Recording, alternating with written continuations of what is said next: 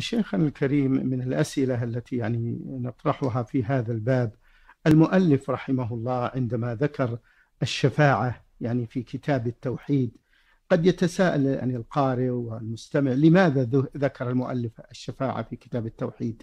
هذا ذكرناه في أول الكلام قلنا لما كان أكثر المشركين أو كل المشركين إنما يقولون نحن نعتقد أنهم لا يخلقون ولا يرزقون وإنما لأن لهم منزلة عند الله وهم عباد صالحون فنريد أن يشفعوا لنا عند الله سبحانه وتعالى ويتوسطوا لنا عند الله.